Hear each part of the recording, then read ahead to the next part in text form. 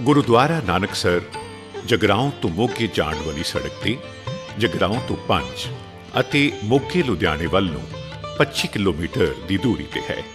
ਬਾਬਾ ਲੱਖਾ ਸਿੰਘ ਜੀ ਦੀ ਸ਼ਰਧਾ ਭਾਵਨਾ ਅਤੇ ਯੋਗਤਾ ਨੂੰ ਵੇਖਦੇ ਹੋਏ ਬਾਬਾ ਸਾਧੂ ਸਿੰਘ ਜੀ ਨੇ ਇਹਨਾਂ ਨੂੰ 5 ਅਕਤੂਬਰ 2001 ਵਿੱਚ ਆਪਣਾ ਉੱਤਰਾਧਿਕਾਰੀ ਬਣਨ ਦਾ ਸੁਭਾਗ ਬਖਸ਼ਿਆ।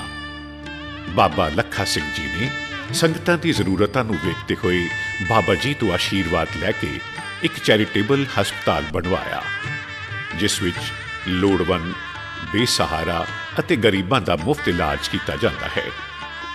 ਹਸਪਤਾਲ ਦੀ ਸੇਵਾ ਤੋਂ ਬਾਅਦ ਬਾਬਾ ਲੱਖਾ ਸਿੰਘ ਜੀ ਨੇ ਸੰਗਤਾਂ ਦੀ ਸਹੂਲਤ ਲਈ ਮੁੱਖ ਸੱਚਖੰਡ ਦੇ ਸਾਹਮਣੇ ਇੱਕ ਬਹੁਤ ਹੀ ਵਿਸ਼ਾਲ ਅਤੇ ਸੁੰਦਰ ਦੀਵਾਨ ਹਾਲ ਬਣਵਾਇਆ ਪਰਉਪਕਾਰੀ ਬਿਰਤੀ ਬਾਬਾ ਲੱਖਾ ਸਿੰਘ ਜੀ ਨੇ ਇਸ ਤੋਂ ਫੌਰਨ ਬਾਅਦ ਨਾਨਕਸਰ ਦੇ ਕੋਲ ਦੀ ਲੰਘ ਰਹੀ ਬਦਬੂਦਾਰ ਨਾਲੀ ਨੂੰ ਅੰਡਰਗਰਾਉਂਡ ਕਰਵਾ ਕੇ, ਉਸ ਉੱਪਰ ਸੋਹਣੇ ਖੁਸ਼ਬੂਦਾਰ ਪੌਦੇ ਲਗਵਾ ਕੇ ਨਾਨਕਸਰ ਦੀ ਸੁੰਦਰਤਾ ਨੂੰ ਹੋਰ ਵੀ ਚਾਰ ਚੰਨ ਲਗਾ ਦਿੱਤੇ। ਬਾਬਾ ਜੀ ਵੱਲੋਂ ਲੱਖਾਂ ਦੀ ਗਿਣਤੀ ਵਿੱਚ ਪੰਜਾਬ ਦੇ ਪਿੰਡਾਂ ਅਤੇ ਸ਼ਹਿਰਾਂ ਵਿੱਚ ਪੌਦੇ ਲਗਾਏ ਗਏ ਅਤੇ ਹੋਰ ਵੀ ਲਗਾਏ ਜਾ ਰਹੇ ਹਨ।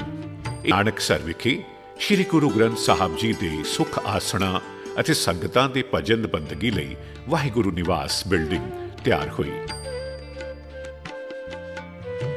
ਬਾਬਾ ਨੰਦ ਸਿੰਘ ਜੀ ਦੇ ਤਪ ਸਥਾਨ ਸ੍ਰੀ ਸਰਦਖਾਨਾ ਨੂੰ ਹੋਰ ਸੁੰਦਰ ਬਣਾਇਆ ਗਿਆ। ਬਜ਼ੁਰਗਾਂ ਦੀ ਸੇਵਾ ਸੰਭਾਲ ਲਈ ਸਰੋਵਰ ਦੇ ਕੰਢੇ ਇੱਕ ਵਿਸ਼ਾਲ ਬਿਰਧ ਆਸ਼ਰਮ ਤਿਆਰ ਕਰਵਾਇਆ ਗਿਆ। ਮੁੱਚੇ ਪੰਥ ਵੱਲੋਂ ਪੰਜ ਸਿੰਘ ਸਾਹਿਬਾਨ ਨੇ ਦਸਤਾਰ ਸਜਾ ਕੇ ਸੰਤ ਬਾਬਾ ਸਾਧੂ ਸਿੰਘ ਜੀ ਦੀ ਜਗ੍ਹਾ ਤੇ ਨਾਨਕਸਰ ਸੰਪਰਦਾਇ ਦੇ ਚੌਥੇ ਮੁਖੀ ਥਾਪ ਦਿੱਤਾ। ਨਾਨਕਸਰ ਕਲੇਰਾ ਵਿਖੇ ਬਾਬਾ ਨੰਦ ਸਿੰਘ ਜੀ ਦੁਆਰਾ ਲਗਵਾਈ ਬੌਲੀ ਨੂੰ ਗੁਰਦੁਆਰਾ ਬੌਲੀ ਸਾਹਿਬ ਦਾ ਰੂਪ ਦੇ ਕੇ ਇੱਕ ਗੁਰਮਤ ਪ੍ਰਚਾਰ ਕੇਂਦਰ ਦੀ ਸਥਾਪਨਾ ਕੀਤੀ। ਜਿੱਥੇ ਸਮੇਂ-ਸਮੇਂ ਅਨੁਸਾਰ ਨੌਜਵਾਨ, ਬੱਚੇ ਅਤੇ ਬੱਚੀਆਂ ਲਈ ਗੁਰਮਤ ਸੰਗੀਤ ਕਥਾਵਾਚਕ ਅਤੇ ਨਾਲੋਂ ਨਾਲ ਸਿਲਾਈ, ਕਢਾਈ ਆਦਿ ਦੀ ਜਾਣਕਾਰੀ ਲਈ ਵਿਸ਼ੇਸ਼ ਕੈਂਪ ਲਗਾਏ ਜਾਂਦੇ ਹਨ।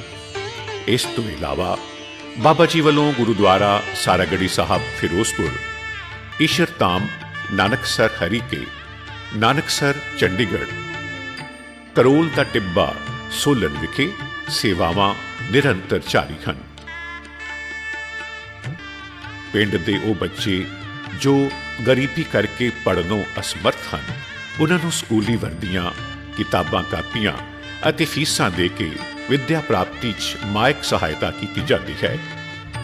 ਬੱਚਿਆਂ ਨੂੰ ਮੌਜੂਦਾ ਉਸਾਰੂ ਤੇ ਸੁਚਾਰੂ ਵਿੱਦਿਆ ਦੇਣ ਲਈ ਪਿੰਡ ਹਲਵਾਰਾ ਵਿਖੇ ਇੱਕ ਬਹੁਤ ਹੀ ਵਧੀਆ ਸਮੇਂ ਦਾ ਸਕੂਲ ਸ਼ੁਰੂ ਕੀਤਾ ਗਿਆ ਹੈ। ਨਸ਼ਿਆਂ ਦੇ ਦਰਿਆ ਵਿੱਚ ਰੁੜਦੀ ਜਾ ਰਹੀ ਪੰਜਾਬ ਦੀ ਜਵਾਨੀ ਬਚਾਉਣ ਲਈ ਥਾਂ-ਥਾਂ ਜਾਗਰੂਕਤਾ ਕੈਂਪ ਅਤੇ ਨਸ਼ਾ ਛੁਡਾਊ ਕੈਂਪ ਲਗਾਏ ਜਾਂਦੇ ਹਨ।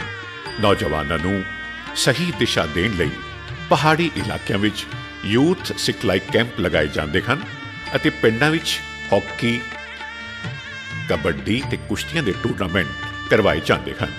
ਹਰ ਮਹੀਨੇ ਗਰੀਬਾਂ ਨੂੰ ਮੁਫਤ ਰਾਸ਼ਨ ਵੰਡਣਾ, ਗਰੀਬ ਬੱਚਿਆਂ ਦੇ ਵਿਆਹ ਕਰਵਾਉਣ ਵਰਗੇ ਕਾਰਜ ਵੀ ਬਾਬਾ ਲੱਖਾ ਸਿੰਘ ਜੀ ਦੀ ਅਗਵਾਈ ਵਿੱਚ ਕਰਵਾਏ ਜਾਂਦੇ ਹਨ। ਆਓ ਵੇਖੀਏ ਨਾਨਕਸਰ ਵਿਖੇ ਅਲੌਕਤ ਨਗਰ ਕੀਰਤਨ ਦੇ ਦ੍ਰਿਸ਼। ਯਾਤਰੂ ਸੰਗਤਾਂ ਦੀ ਰਿਹਾਇਸ਼ ਦਾ ਵਧੀਆ ਪ੍ਰਬੰਧ ਹੈ। ਤਕਰੀਬਨ 50 ਏਸੀ ਕਮਰੇ 250 ਕੂਲਰ ਵਾਲੇ ਕਮਰੇ ਅਤੇ 200 ਆਮ ਕਮਰਿਆਂ ਤੋਂ ਇਲਾਵਾ ਕੁਝ ਸਰਾਵਾਂ ਵੀ ਬਣੀਆਂ ਹੋਈਆਂ ਹਨ। ਨਾਨਕਸਰ ਵਿੱਚ ਬਣਿਆ ਸੁੰਦਰ ਬਗੀਚਾ ਹਰ ਆਉਣ ਵਾਲੇ ਸ਼ਰਧਾਲੂ ਦਾ ਮਨ ਮੋਹ ਲੈਂਦਾ ਹੈ।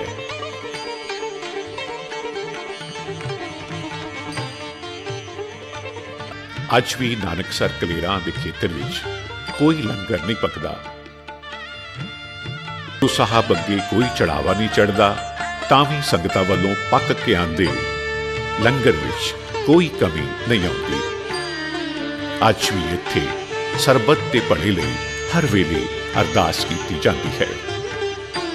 ਨਾਨਕ ਨਾਮ ਚੜ੍ਹਦੀ ਕਲਾ, ਤੇਰੇ ਬਾਣੇ ਸਰਬੱਤ ਦਾ ਭਲਾ।